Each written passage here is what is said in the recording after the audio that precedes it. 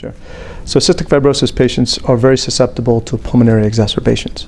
Pulmonary exacerbations are a situation where a patient's infection and inflammation get so overheated that they ultimately require rescue medication. That rescue medication is often very heavy doses of steroids, which is not healthy to use on a long-term basis.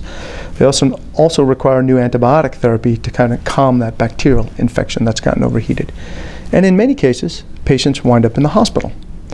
And that's not just a big clinical outcome, a bad outcome, because you can imagine patients with CF are students, they're professionals, like you and I, and three weeks in the hospital with permanent lung damage as a consequence of the end of that three weeks is not really a good outcome. And unfortunately, with the best care in the world today, patients still exhibit pulmonary exacerbations. And the beauty of our phase two program with acebilustat is that by adding once daily acebilustat in, into a patient's current treatment regimen, we can decrease the number of pulmonary exacerbations they have on an annual basis. That has uh, good clinical consequences, prolonging lung life. That has good cost effectiveness consequences, because as you can imagine, a pulmonary exacerbation that requires hospitalization is very expensive.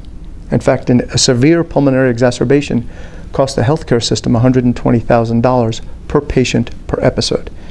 And so by reducing exacerbations with acebilustat, we can improve lung life by reducing damage from overheated inflammation.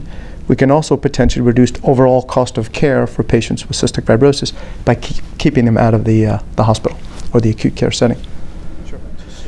So we've just completed our phase two program, and it shows very important signals for reduction in pulmonary exacerbations in patients with CF.